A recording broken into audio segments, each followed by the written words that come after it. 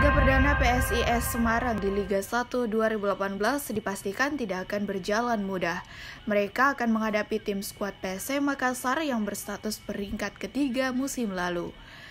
Meski demikian, Laskar Mahesa Jenar julukan PSIS bertekad mencuri poin di kandang Juku Eja Stadion Andi Matalata Makassar minggu besok sore. Mereka bertekad mengembalikan kejayaan PSIS sebagai tim yang lahir dari era perserikatan. PSIS Semarang sendiri tercatat sebagai klub ketiga yang pernah menjuarai Liga Perserikatan dan Divisi Utama Liga Indonesia, serta Persib Bandung dan Persebaya Surabaya. PSIS Semarang beberapa kali naik turun kasta di kompetisi tanah air. Tahun 2009 jadi tahun terakhir mereka mentas di Liga Indonesia sebelum kembali lagi tahun ini. Sementara itu, asisten pelatih PSIS Dwi Setiawan mengatakan mental pemainnya sudah kembali pasca pelatih kepala Subangkit dipecat. Kini mereka sudah punya pelatih baru asal Italia, Vincenzo Alberto Anese. Memperbaiki mentalitas mereka dalam pertandingan.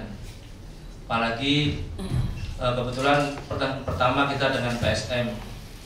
Eh, jadi uh, saya percaya pada pemain saya karena mereka sudah pemain profesional jadi untuk mentalitas saya yakin memang kita tahu kita tim promosi namun kita juga ingat flashback tentang PSS Semarang yang benar sejajar dengan PSM Makassar dan sesama tim perserikatan. Ya.